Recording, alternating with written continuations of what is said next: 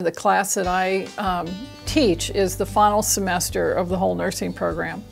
So capturing the information to the students is crucial because they're preparing not only for the exams and graduation, but for their state board exams to become registered nurses.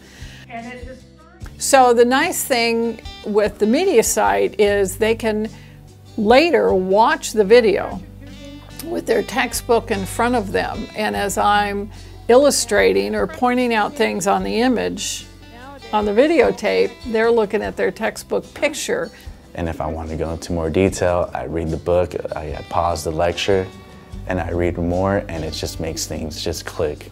You can pause it, you can go back 30 seconds, you can forward 30 seconds. In real life. So I can use a document camera when I'm um, displaying pieces of equipment that we use in the clinical setting, etc., and I can focus right in, and then they can watch me as I'm performing a procedure using these pieces of equipment or pointing out key features of it. You really need to just put your pencil down in class sometimes and just listen get everything in. Rather than scrambling to get every word down that they're trying to write, they can listen more and participate more in the discussions that we're trying to have in the classroom.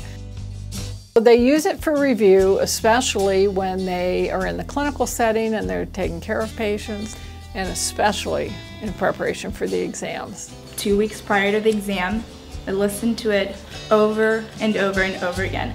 I sit there and I take notes while she's lecturing and just hearing it and seeing it and looking at the clicker questions that she she gives us. You have your notes, the book, and then the lecture, and it all really helps to tie everything in. And then when I asked for feedback during the class, did it help? How did you like?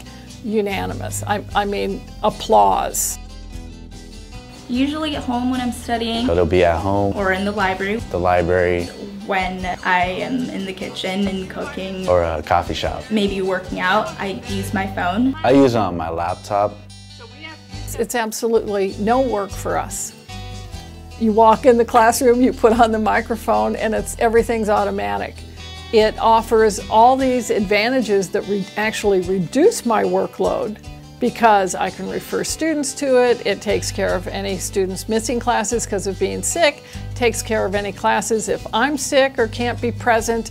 It facilitates my clinical faculty being up to date on everything I'm teaching, so therefore it reduces the time I have to orient new faculty members because I can have them listen to the class. Now that I have it, I would never want to be without it.